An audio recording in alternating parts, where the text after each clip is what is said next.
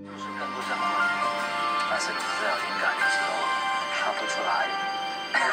岁月变短，长夜冰冻，自然波动到然后你看它里面有很多镜头，你会觉得说好年轻啊。那个时候就是你看他二十多岁，就是那个脸很年轻很年轻，然后再给你切一些，就是新人现在已经六十岁了，然后头发花白了，你就会感觉哇，我们的岁月就是已经 不啊，哼岁月过得太快了。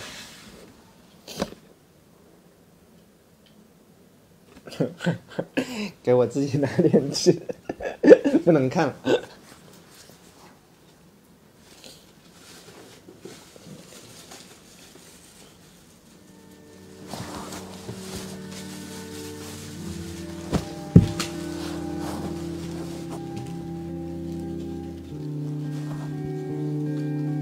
其实我是演了，然后有一些要哭戏什么要找我，我我可以很快就哭出来，根本根本不用滴眼药水，也不用也不用干啥，我就看一下，然后卡，演戏也没那么难，对吧？这么正的演员居然演不出来，也太离谱了。我在接触脱口秀之前，基本上我觉得的喜剧，我理解的喜剧可能就是周星驰了。我觉得可能也有一点受路易 C K 的影响吧。我觉得他几乎，嗯，应该有百分之六七十的段子都是这样的思路去构思出来的，就是对于某一件事情他的看法是什么，然后他那个看法又是比较与众不同的，他再用他独特的逻辑去讲述，就是他思考的过程。我觉得就这种东西很吸引我。我是咋认识路易 C K 的？是我刚开始做脱口秀的时候，有一个前辈吧，算是他给我们看了一些啊、脱口秀的视频，慢慢就去看了一些他的专场，看他的剧，然后又经又多经历了一些跟他一样悲惨的 一些表演冷场，以及生活中的一些挫折、绝望什么等等那些，你就会觉得说。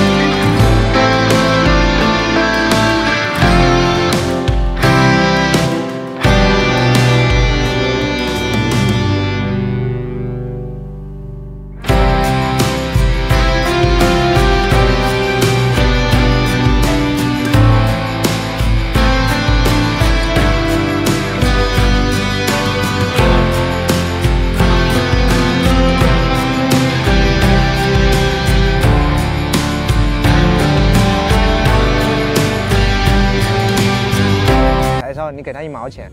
然后你就说，哎，帮我划一根火柴，每次都给他一毛钱，每次都给他一毛钱，然后慢慢的你不给他钱，他就不划了。脱口秀养成了这样一种习惯，就会觉得说，哎，我以前你不给我钱的时候，我也上台讲，我讲得很开心。然后后来我上台讲是需要别人给我钱了，你才去讲脱口秀。那么到后来你就会想，哎呀，不给我钱我就不讲了。他好像那个动机就变了。有些事情呢，就是它就是缘分，你可能喜欢一年、三年、五年、十年，看你能喜欢多长就多长吧。就像一段婚姻一样，你你的目的就是尽可能长时间的维持婚姻的美好甜蜜，但是实在维持不下去了，那就没有办法哈，就去找别的。人生可能还有很多你可能的探，你值得探索的东西。可能到那个时候说，你的使命就到这里。比如说坐坐在角落，它可以是代表了说我们没有那么重要，或者是说我们在那个场合里面我们不是最重要的那个人，就是我们不需要把自己看得那么重要。啊，真的不需要看得那么重要，因为这个世界上重要的人太多了，所有人都觉得自己是最重要的人，所有人都觉得自己是主角，啊，但是如果你不是主角呢，你做不了主角呢，其实也没有关系，我们也仍然可以有自己的定位，我们仍然可以有一块自己觉得很舒适的地方。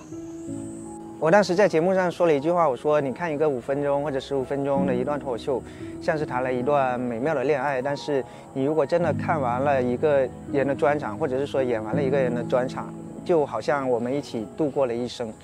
我们在那个另外的世界里面，我们经历了我那个专场内容里面分享的我人生里面很多很多的东西。所以那一场演完之后，然后我在想，刚才发生了什么？”就是一段很奇怪的生命，在那一个时刻，然后它结束了，就有一种说好像死而无憾，所以我就会有那种说，在某种意义上，我们度过了一生。所以那天节目的时候，李诞说了一句话，他说这个专场可能是今年最好的一个专场，然后我当时。